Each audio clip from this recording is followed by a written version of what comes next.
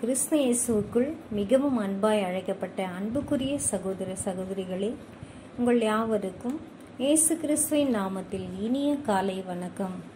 வேதாகம பாடங்கள் தொகுதி ஒன்று யுகங்களை பற்றிய தெய்வீக திட்டம். அத்தியாயம் ஒன்று மகிழ்ச்சியின் அதிகாலையில் முடிவுக்கு வரும் பூமியின் பாவரா காலம். பக்கம் மூன்று நான்கு. ஆறாவது பேரா. அவ்வாறு ஆராய்ச்சி செய்பவர்களாகிய நமக்கு முன்பாக இரண்டு வழிமுறைகள் உண்டு. அதில் ஒன்று எல்லா கிறிஸ்தவ பிரிவுகளில் சொல்லப்படுவது எல்லாவற்றையும் ஆராய்ந்தறிந்து அவைகளில் உள்ள சத்தியத்தை மட்டும் எடுத்துக்கொள்வது. ஆனால் இது எல்லையில்லாத முயற்சி. இம்முயற்சியில் நாம் சந்திக்கும் பிரச்சனைகள் என்னவெனில் அவ்விதம் முயற்சிக்கும் போது நாம் எடுக்கும் முடிவு ஒருவேளை மாறிவிட்டால் அல்லது தவறினால் அல்லது நம் தப்பெண்ணம் எவ்வகையிலும் வளைந்து கொடுத்து விட்டால். இப்பிரச்சனைகள் நம்மை சரியான தேர்ந்தெடுத்தலை தடுப்பதுடன் சத்தியத்தை தள்ளிவிட்டு தவறை சத்தியமென்று எடுத்துக்கொண்டு விடுவோம்.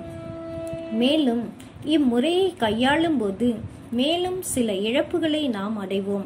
எவ்வாறெனில் சத்தியத்தை தேடி அதன் வெளிச்சத்தில் நடக்க விரும்புவோருக்கு சத்தியத்தின் வெளிச்சமானது தற்காலத்தில் நடுப்பகல் வரைக்கும் அதிக அதிகமாய் பிரகாசித்து வெளியாகி கொண்டிருக்கும் இவ்வேளையில் அநேக நூற்றாண்டுகளுக்கு முன்பு ஏற்படுத்தப்பட்ட பல்வேறு கிறிஸ்தவ பிரிவினர்களுடைய உறுதியானதும் நிலையானதுமான போதகங்கள் தற்காலத்திலும் இருப்பதினால் நாம் பெரிய இழப்பை ஏற்க நேரிடும்.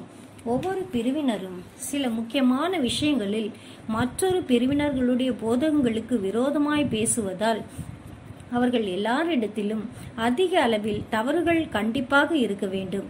ஆகவே இம்முறையானது நம் மனதில் உள்ள தப்பெண்ணங்களை எல்லாம் உதறிவிட்டு ஒருவரும் தேவனுடைய வார்த்தைகளில் தனக்கு வெளிப்படுத்தப்பட்டதற்கு அதிகமாக தேவ திட்டங்களை அறிந்து கொள்ள முடியாது என்று நினைவு கூர்ந்து அவ்வார்த்தையானது தாழ்மையும் இருதயத்தில் எளிமையும் உள்ளவர்களுக்காக மட்டும் கொடுக்கப்பட்டிருக்கிறபடியால் தேவன் நமக்கு அருளி இருக்கிற பல்வேறு தெய்வீக உதவிகளை ஆதாரங்கள் உபயோகித்து அவ்வார்த்தைகளை புரிந்து கொள்வதற்கு ஆர்வத்தோடும் உண்மையோடும் அதில் உள்ள வழி நடத்துதல்களையும் அறிவுரைகளையும் மாத்திரம் தேடுவது இம்முறையாகும்.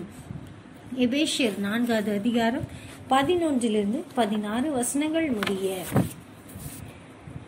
மேலும் நாம் அனைவரும் தேவனுடைய குமாரனை பற்றும் விசுவாசத்தினாலும் அறிவிலும் ஒருமைப்பட்டவர்களாகி கிறிஸ்துவனுடைய நிறைவான வளர்ச்சியின் அளவுக்கு தக்க பூரண புருஷராகும் வரைக்கும் பரிசுத்தவான்கள் சீர்பொருந்தும் பொருட்டு சுவிசேஷ ஊழியத்தின் வேலைக்காகவும் கிறிஸ்துவின் சரீரமாகிய சபையானது பக்தி விரித்து அடைவதற்காகவும் அவர் சிலரை அப்போஸ்தலராகவும் சிலரை தீர்க்கதரிசிகளாகவும் சிலரை சுவிசேஷகராகவும் சிலரை மேய்ப்பராகவும் போதகராகவும் ஏற்படுத்தினார்.